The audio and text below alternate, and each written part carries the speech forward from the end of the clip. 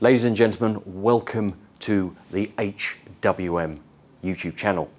Now today we have a fantastic treat in our studio, the Aston Martin Valkyrie.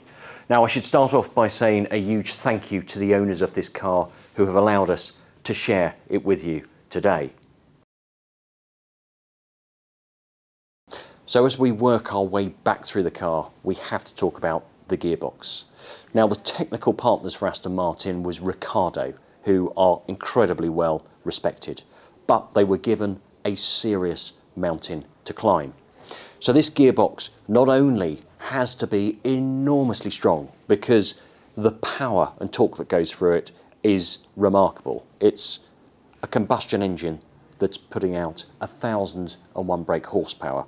And on top of that, the e-motor provides another 140 brake horsepower.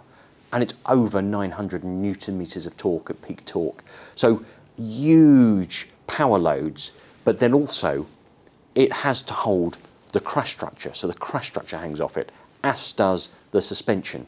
So across the gearbox, its mounting and load is, it, it probably takes more load than anything else out there gearbox wise. So it's a wonderful piece of engineering. It's a seven speed gearbox, all forward gears, and it's a single clutch transmission, just like an F1 car. And the reason for that is one, weight, and two, compactness, because of course, again, it needed to fit within these huge Venturi tunnels. So it's a lovely piece of packaging. For reverse gear, you use the e-motor, and there is no auto mode. You've always got to drive it on the paddles.